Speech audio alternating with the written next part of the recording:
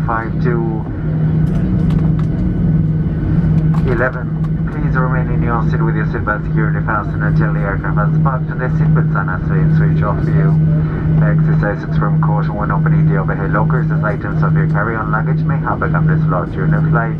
And for those who will smoke, please refrain from doing until you reach a designated smoking area outside the terminal building. We have the captain and cabin crew like to thank you for choosing to fly with us today and we hope to see you on another Ryanair scheduled service in the very near future. Once again, thank you and have a nice evening.